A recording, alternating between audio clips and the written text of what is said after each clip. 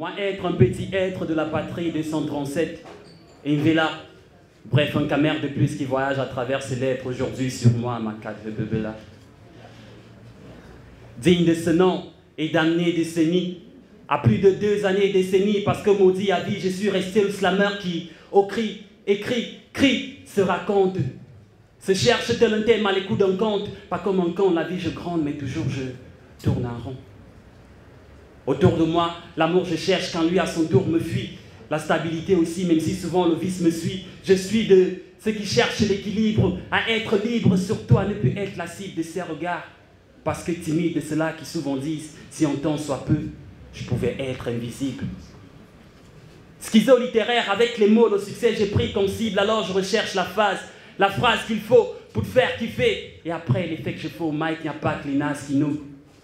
Comme un kiné, je recherche le médoc, la solution à mon mal, pour le cerner, ton aide, j'en jusqu'au plus profond de ton âme. Je cherche, je cherche, j'arrête pas de chercher, mais plus je cherche, je me perds, et comme un père, au fond, une voix me dit, petit, vas-y, t'arrêtes pas de chercher. Cherche, au recto comme au verso, dans la bêtise sans verser, tu verras ce que tu cherches destiné berceau. Oui, digne de ce nom et d'années, décennies, à plus de deux années, décennies, parce que maudit à vie, je suis devenu un psychopathe des phases, un mec ivre de livres, de vers, de phases, de phrases et de flots, parce qu'en phase terminale, je livre ma bible de nerfs, de stress et de mots, pour que tu me décharges si jamais tu as la solution, ne serait-ce que un de mes mots.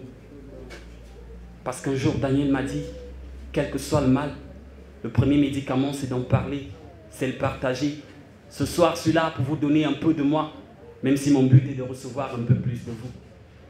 Oui, j'avoue que ça a été mal poli d'arriver ici, parler de mes problèmes sans me prendre la peine de me présenter. Vraiment, pardonnez. C'est juste que schizophrène de mon état, je suis tout le temps stressé, pris de panique. Alors, comme Silda, je vous supplie de surtout pas faire place à la nique.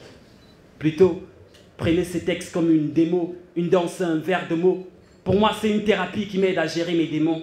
Et Dieu seul sait que c'est grâce à elle qu'aujourd'hui j'ai encore le courage, la force de penser à demain. Sur ce, avant de dire adieu, au revoir ou à demain, j'aimerais te remercier, toi ici, pour ton attention. Car c'est, c'est pas facile de parler et je sais que c'est encore plus difficile d'écouter. Vraiment, merci. Schizo, c'était Mara et Kee me feu. Si t'es dans le public, j'agresse son One Love à ton intention. Merci